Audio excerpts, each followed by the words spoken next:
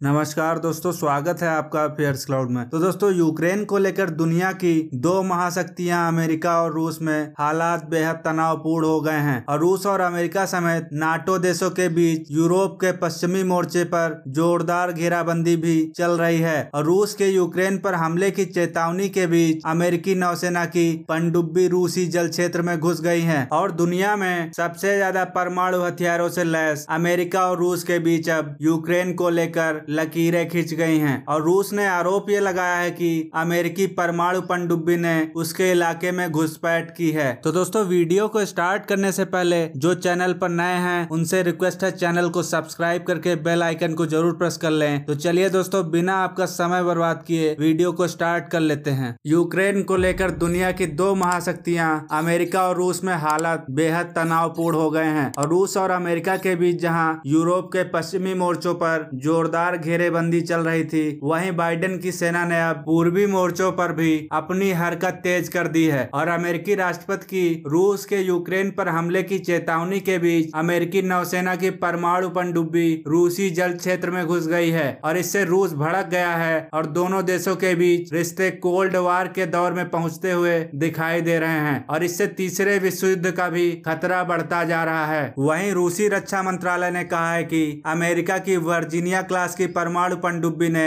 रूसी जल क्षेत्र में घुसपैठ की है और जब रूसी युद्धपोत ने अमेरिकी पनडुब्बी से सतह पर आने को कहा तो उसने अनदेखा कर दिया और इसके बाद रूसी नौसेना ने अमेरिकी पनडुब्बी के खिलाफ विशेष कार्यवाही की और रूसी नौसेना की इस हरकत के बाद अमेरिकी पनडुब्बी तत्काल तेज़ी से रूसी समुद्री इलाके से भाग गई और इस घटना से भड़के रूस ने अमेरिका के रक्षा अताशे को तलब किया है और इस हरकत के प्रति आगाह किया है। वहीं अमेरिका ने रूस के इन आरोपों को खारिज कर दिया है। वहीं रूसी मीडिया के मुताबिक अमेरिकी पनडुब्बी की यह घुसपैठ कुरील द्वीप समूह के पास हुई है, जो जापान के पास स्थित है। वहीं रूसी नौसेना इसी इलाके में इन दिनों सैन्य अभ्यास कर रही है और इसी द्वीप पर द्वितीय विश्व युद्ध के बाद रूस ने कब्जा कर लिया था, लेकिन जापान इस पर अपना दावा करता है। वहीं अमेरिका अपनी वर्जीनिया क्लास सबमरीन का इस्तेमाल ज़्यादातर एंटी सबमरीन युद्ध और खुफिया जानकारी इकट्ठा करने के लिए करता है। और इसी बीच अमेरिकी राष्ट्रपति जो बाइडन ने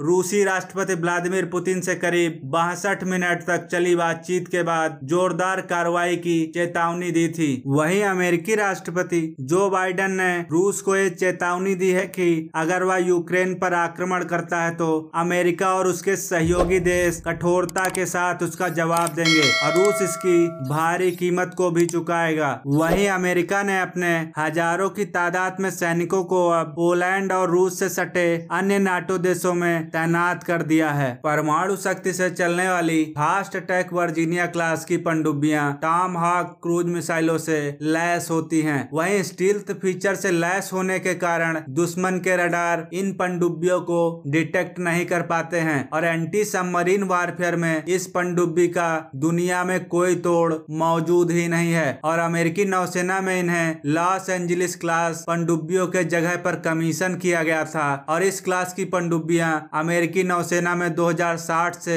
2070 तक सर्विस में रहेंगी और अमेरिकी नौसेना ऐसी छाछठ पनडुब्बियों के निर्माण की योजना पर कार्य कर रहा है, जिसमें से 19 अभी एक्टिव हैं, जबकि 11 पनडुब्बियों को बनाया जा रहा है। और इसके अतिरिक्त अमेरिकी नेवी ने छह पनडुब्बियों का और ऑर्डर दिया हुआ है। वहीं अब आप लोगों का क्या कहना है? रूस और यूक्रेन के विवाद पर कमेंट में ज़रूर बताएँ और लाइक शेयर सब्सक्राइब करके घंटी वाले बटन को ज़रूर प्रेस करें ताकि डिफेंस से जुड़ी खबरें छूटे नहीं, सभी खबरें आप तक पहुँचती रहें। धन्यवाद।